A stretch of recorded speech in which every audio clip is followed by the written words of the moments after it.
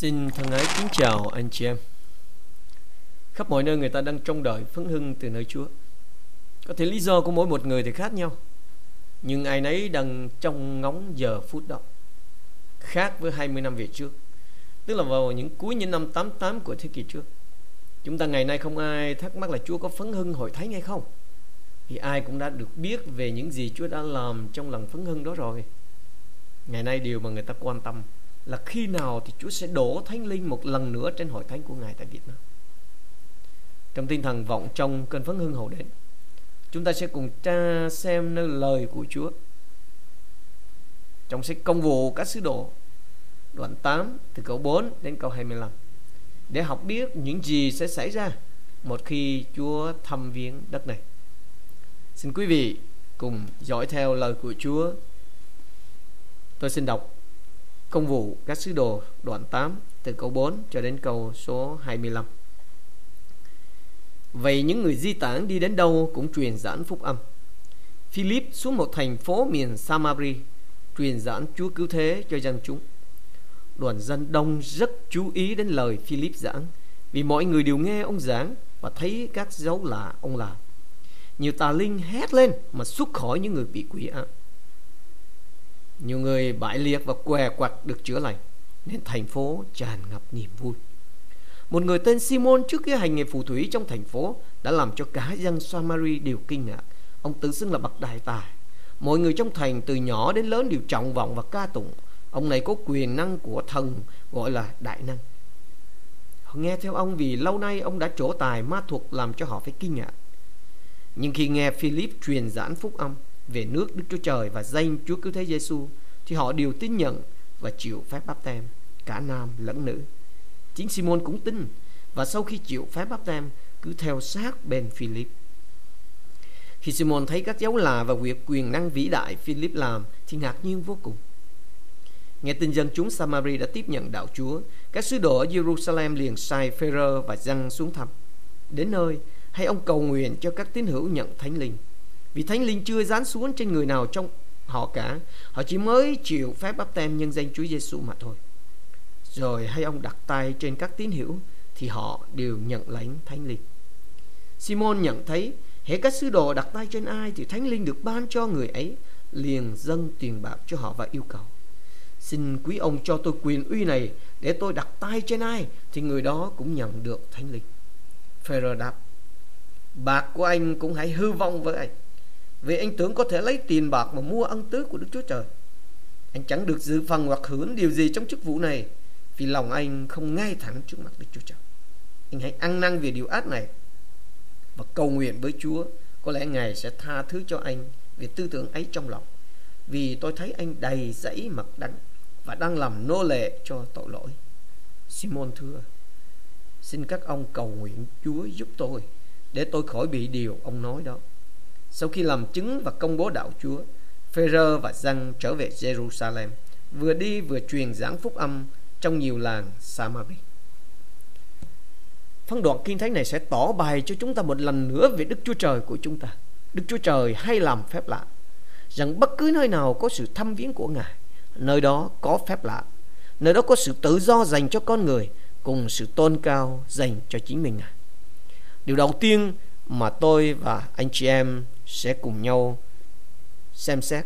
Đó là nơi đâu lời Chúa thật sự được giao giảng. Nơi đó có dấu kỳ phép lạ xảy ra. Hãy để ý đến hình ảnh.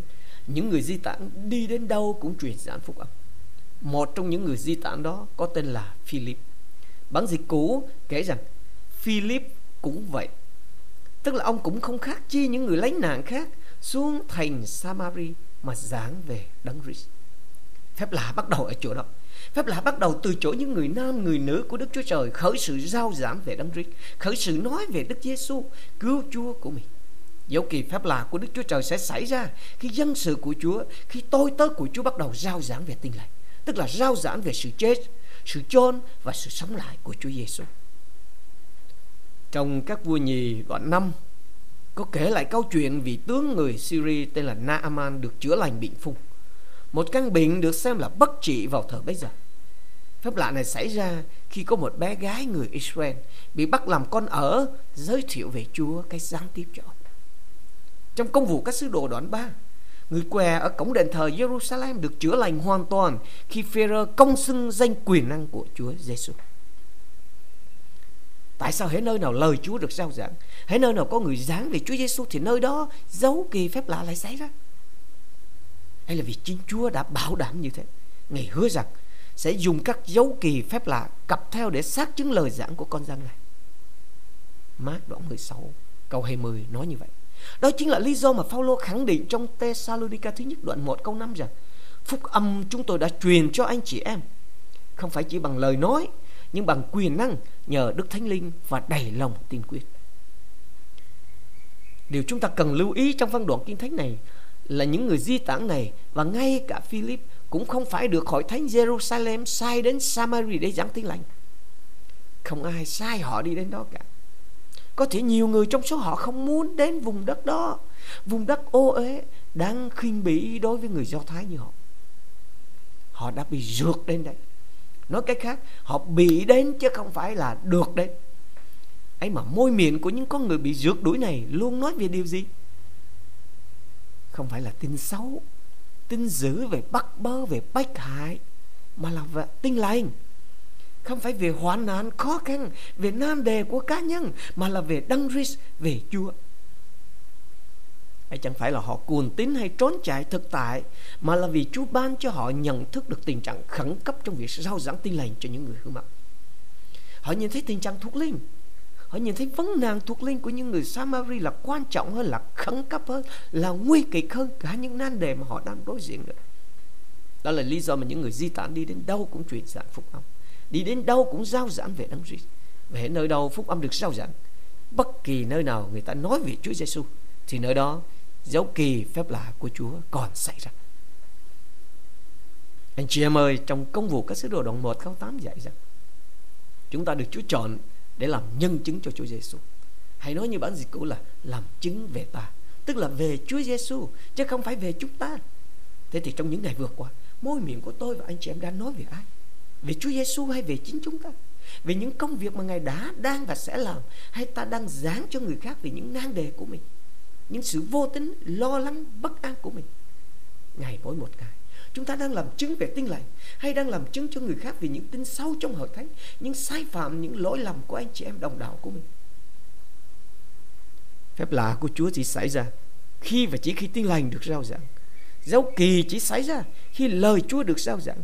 Chúa chỉ làm phép lạ khi con dân của Ngài vâng lời Ngài làm chứng về Chúa Giêsu mà thôi. Một điểm nữa mà chúng ta cần lưu ý trong phân đoạn như thánh này đó là những người truyền giảng phúc âm, những người dán về Đấng Christ. Họ là ai? Ngoại trừ Philip thì còn lại đều là những người vô danh. Họ chỉ là những thành viên bình thường trong hội thánh. Thành viên bình thường trong hội thánh vẫn có thể giảng tin lành thành viên bình thường vẫn có thể giảng về Chúa Giêsu. Vấn đề là chúng ta có muốn làm điều đó, tức là có muốn vâng lời Chúa hay không, chứ không phải là có thể làm điều đó hay không. Philip là ai? Trong công vụ các sứ đồ đoạn 6 từ câu 1 đến câu 7 cho chúng ta biết rằng ông là một trong bảy chấp sự của hội thánh Jerusalem. Ông được chọn để làm gì? Câu 2 cho thấy ông và các bạn được chọn để giúp các sứ đồ tức là những người lãnh đạo hội thánh cấp phát thức ăn mỗi ngày cho những người quá phụ số là lúc bây giờ, tất cả các tín hữu đều hợp nhất với nhau, lấy mọi vật sở hữu làm của chung bán tài sản của cải mà phân phát cho mọi tín hữu, tùy theo nhu cầu của mỗi người. Nên mới phát sinh cái chuyện đó. Nói theo ngôn ngữ ngày hôm nay thì Philip chưa hẳn đã là một chấp sự, mà chỉ là một người có tâm tình phục vụ, một người sẵn sàng tham gia công việc chung khi hội thánh có nhu cầu mà thôi. Vậy mà người này đã giảng về đấng Christ và rất nhiều dấu kỳ phép lạ đã xảy ra kinh thánh thuộc lại rằng nhiều tà linh hét lên mà xuất khỏi những người bị ám. Nhiều người bị bại liệt và què quặt được chữa lành, nên thành phố tràn ngập niềm vui. Tôi khao khát được Chúa tin dùng như thế. Anh chị em có mong ước được Chúa sử dụng mình như Philip, như những người di tản xuống Samari năm xưa không? Hãy rao giảng tin lành. Hãy tiếp tục làm chứng về Chúa Giêsu. Khi chúng ta tiếp tục giao giảng Chúa khắp mọi nơi, bất luận gặp thời hay không gặp thời, thì có một điều chắc chắn sẽ xảy ra. Chúa sẽ đồng công với mỗi một chúng ta lấy các dấu kỳ phép lạ cặp theo để xác chứng lời Ngài là lời được giao giảng qua môi miệng mỗi một chúng ta. Như vậy điều đầu tiên mà tôi và các anh chị em đã học được đó là nơi đâu lời Chúa được giao giảng, nơi đó quyền phép của Chúa được bày tỏ.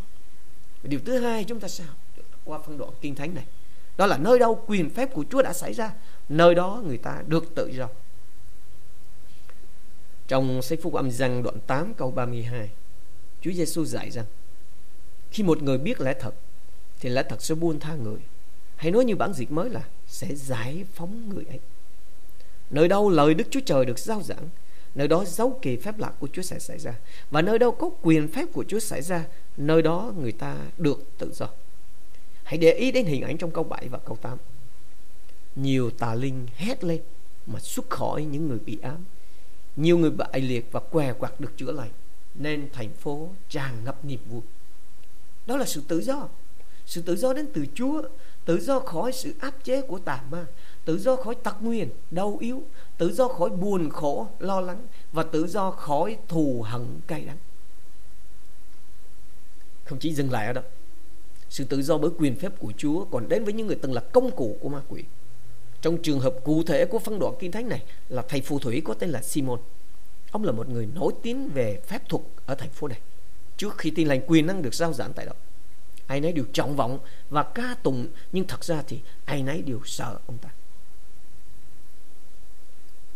Một sư Nguyễn Như Hải có thời gian hội Chúa tại Lào làm chứng rằng có một tay thầy mo, người Bru rất cao tay ấn. Tuy còn khá trẻ, chưa đến 30 tuổi, nhưng cả làng ai cũng sợ. Từ cán bộ chính quyền từ công an cho đến dân thường, đều sợ hãi vì y ta có thể im chú khiến bệnh tật hoặc chết bất cứ người nào. Một hôm y nghe về Chúa Giêsu qua một mục sư, rồi bằng lòng tiếp nhận Chúa, thì cả làng đuổi hắn ra rừng mà sống, để cho con ma rừng nó bắt đi. Nhưng rồi à, không có con ma nào bắt được người. Vì vị thần mới của anh ta là lớn hơn hết mọi thần linh, nên anh ta lần lượt bắt hết người này đến người khác trong làng của mình cũng như trong những làng lân cận không phải để chết mà là để sống về cho Chúa Giêsu. Hallelujah. Khi quyền phép Chúa bày tỏ ra để xác chứng lời của Ngài thì ngay cả những thầy mo, thầy pháp, thầy phù thủy cũng được Chúa chạm đến. Tại sao như thế? Vì họ cũng là đối tượng cần được thương xót. Họ cũng là những người cần được hưởng ơn cứu rỗi. Họ cũng là những con người mà Chúa đang tìm để cứu như Ngài đã tuyên bố trong Luca đoạn 4 câu 18 19 rằng thần Chúa ngự trên ta. Vì Ngài đã sức giàu cho ta để giảng tin mừng cho người nghèo khổ. Ngài đã sai ta công bố cho kẻ bị tù được phóng thích, cho kẻ mù lòa được sáng mắt, cho người bị áp bức được giải thoát và công cố kỷ nguyên thi ân của Chúa. Kinh Thánh thuật lại trong câu 13 rằng Chính Simon cũng tin và sau khi chịu phép bắp tem Cứ theo sát bên Philip Khi Simon thấy các dấu lạ Và việc quyền năng vĩ đại Philip làm Thì ngạc nhiên vô cùng Một người đã từng trổ tài ma thuật khiến cho từ lớn đến bé đều trọng vọng và thậm chí ca tụng rằng ông này có quyền năng của Thiên Chúa, quyền năng vĩ đại, lại là làm ngạc nhiên vô cùng trước những dấu lạ và việc quyền năng mà người của Đức Chúa Trời đã làm. Điều đó chứng tỏ rằng quyền năng của Chúa là vượt trội hơn quyền năng của ma quỷ. Dấu kỳ phép lạ từ nơi Chúa là mạnh mẽ, là kỳ diệu đến nỗi ngay cả những thầy pháp, thầy cũng đại tài cũng phải kinh sợ. Không loại trừ khả năng rằng chính chỗ ngạc nhiên vô cùng khi cách thấy cách xấu lạ và việc quyền năng vĩ đại mà người của Đức Chúa Trời đã thực hiện khi giao giảng tin lành đã bắt phục thầy pháp Simon. Chính quyền phép của Đức Chúa Trời đã giải phóng ông khỏi sự cầm buộc của ma quỷ. Chính quyền năng của Đức Chúa Trời đã ban cho ông sự tự do. Ông không chỉ tiếp nhận Chúa mà còn chịu báp tem và còn theo thầy học đạo luôn. Nói theo ngôn ngữ ngày hôm nay là chịu huấn luyện để trở nên môn đồ. Nếu anh chị em đã từng tham gia cầu nguyện giải cứu những người bị tà ma mà thì anh chị em sẽ phần nào hiểu được một người thầy pháp thầy cúng tin Chúa khó là dường nào. Nhưng thật như lời Chúa đã phán, không chỉ khó quá cho Chúa hay không việc gì mà Chúa không làm được ngợi khen Chúa. Biết bao nhiêu người nam, người nữ trên đất nước này đang bị ma quỷ sử dụng. Biết bao thầy bùa, thầy pháp cần được cứu. Ai sẽ là người đem tin mừng đến cho họ? Cần nhớ rằng Philip không đi tìm ông thầy pháp này để giảng tin lành. Philip không đi tìm thầy phù thủy để giảng về Chúa Giêsu. Việc mà ông cũng như những người lánh nạn khác đã làm là giao giảng lời Chúa và Đức Chúa Trời đã đưa thuộc sĩ Simon đến. Việc chúng ta làm là làm chứng về Chúa Giêsu. Việc của Đức Chúa Trời là kéo người ta đến và ban cho họ sự tự do. Điều gì sẽ xảy ra? Đối với những người mà trước đây đã từng nhờ Simon cúng vái, giờ thấy ông tin nhận Chúa, ảnh hưởng đó thật là lớn lao. Không chỉ một mình ông được tự do, mà sự tự do từ nơi Chúa sẽ lan ra một cách mạnh mẽ tại dương nào. Như vậy điều đầu tiên chúng ta đã học biết là nơi đâu lời Chúa được sao giảng, nơi đó quyền phép được bày tỏ. Và điều thứ hai là nơi đâu quyền phép của Chúa được bày tỏ, thì nơi đó có sự tự do. Và điều cuối cùng chúng ta sẽ học biết qua phân đoạn kinh thánh ngày hôm nay. Đó là quyền phép của Chúa được trang bị cho mỗi chúng ta. Không để tôn cao chúng ta, mà là nhằm tôn cao Chúa. Khi quyền năng của Chúa bày tỏ ra, thì khắp nơi đều biết đến. Điều này là tự nhiên, Vì nơi đâu có sự hiện diện của Chúa, Nơi đâu có quyền năng Nơi đâu có quyền năng của Chúa, Nơi đó người ta được tự do. Mà nơi đâu có quyền năng của Chúa, Người ta từ khắp các nơi sẽ đến, Sẽ tìm đến Bất kể đó là Jerusalem hay là Samari không chỉ có những người những người có nhu cầu mới tìm đến, mà ngay cả những sư đồ từ Jerusalem, những người có tiếng tâm cũng tìm đến. Người ta sẽ không quan tâm nhóm tín hữu tại Samari thuộc cái hệ phái nào việc nhóm tín hữu tại đó chỉ do một chú chấp sự hướng dẫn, không ảnh hưởng gì đến sự thăm viếng của họ cả. người ta đến vì họ cần Chúa. Người ta đến vì họ muốn nhìn thấy công việc của Chúa, chứ không phải người ta đến vì ở Samari có sứ đồ hay không. Người ta đến không phải vì con người hay để xem công việc của con người đó chính là hiện tượng đã từng xảy ra trên toàn cõi Palestine thời gian Baptist thi hành chức vụ người ta ùn ùn đổ vào đồng vắng, tức là sa mạc để làm gì không phải để xem một cây sậy phất phơ trước gió, hay là một người trong gấm vóc lụa là họ vào nơi hoang địa, thay vì nơi đô hội, là vì nơi ấy có người được Đức Chúa Trời sai đến. Như vậy quyền năng của Chúa bày tỏ ra ở đâu thì nơi đó trở nên hút khách. Hãy để ý những chức vụ nổi tiếng trên thế giới như Benny Hinn, Reinhard Bonnke, Carlos Claudius. Từ khắp thế giới người ta tìm mọi cách để tham dự được những buổi nhóm của các vị mục sư này. Tiếng lạ ư? Bắp tam thánh linh ư? Không thành vấn đề mấy cái rau ria đó mấy rào cản cón con đó không là gì so với khao khát được gặp Chúa được nhìn thấy quyền năng của Chúa những ngày tới khi Chúa thăm viếng một hội thánh thuộc một hệ phái nào bất kỳ, kể cả nhà thờ xí mây thì nơi đó sẽ là nơi mà mọi người sẽ đổ về. Các buổi nhóm của hội thánh sẽ chặt nít những con người từ khắp các hệ phái nhóm nhanh từ Baptist đến ngũ tuần, từ giám lý đến trưởng lão, từ Lutheran đến xi mây quyền phép Chúa xuất hiện ở đâu, thì sự nổi tiếng xảy ra ở đâu. Thế nhưng sự nổi tiếng đó không phải là dành cho con người hay cho hội thánh kể cả những con người hay hội thánh đang được Chúa sử dụng để bày tỏ quyền năng Simon không biết được điều đó. Simon chẳng những không biết rằng ân tứ của Đức Chúa Trời không thể mua bằng tiền, mà ông còn không biết rằng Đức Chúa Trời không ban quyền phép cho người ta để đề cao chính mình. Anh chị em ơi, quyền phép của Đức Chúa Trời được ban cho chúng ta cách nhưng không? Tức là miễn phí. Miễn phí chứ không phải là đồ bố thí, hàng giả hay là đồ giảm giá miễn phí vì con người chúng ta không ai có thể dùng bất cứ một điều gì, ngay cả mạng sống của mình để trao đổi với Chúa được. miễn phí nhưng là vô giá. Tức là không thể đánh giá. Vô cùng quý giá, chứ không phải là không giá trị, tức là vô giá. Quyền phép của Chúa được tỏ bày qua chúng ta là để tôn cao Chúa, để người ta nhận biết Chúa và chạy đến với Ngài, chứ không phải để nhằm đề cao chúng ta và thu hút người ta đến với chúng ta các sứ đồ của trái Simon. Vì lòng ông chẳng ngay thẳng trước mặt Đức Chúa Trời khi cầu xin quyền phép Chúa.